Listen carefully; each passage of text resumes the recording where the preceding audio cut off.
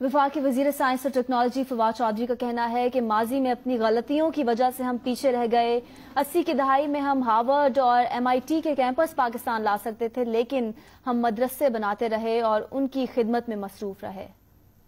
गलतियाँ हुई, हमारी भी हुई, कुछ दुश्मनों की साजिशें थी, कुछ हमारा भी बड़ा किरदार था।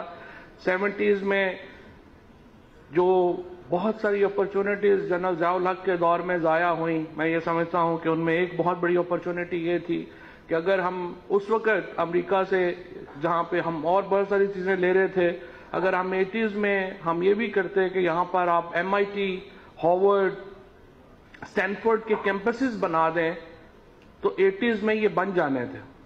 बट अनफॉर्चुनेटली हमने वो अपॉर्चुनिटी मिस की। हमने यहाँ पे टॉप यूनिवर्सिटीज के बजाय हम अपने मदरसे बनाते